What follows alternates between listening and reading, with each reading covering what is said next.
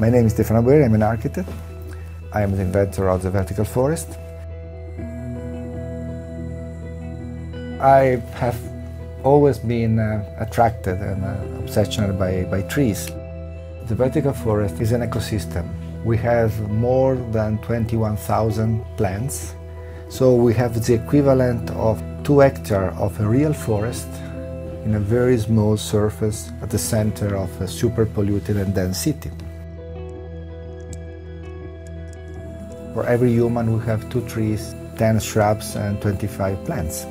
We have more than 20 different species of birds that are nesting there.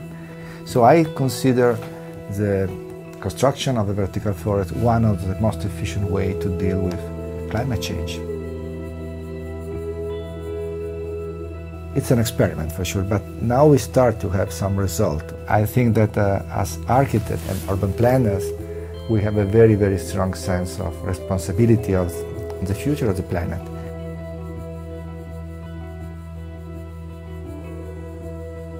Basically, the 75% of the CO2 that we have in the atmosphere is produced by cities. At the same time, forests and woodlands are absorbing 35-40% of that CO2.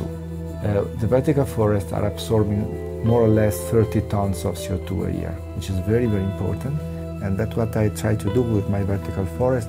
is a very, very, very and pragmatic uh, way to deal with climate change.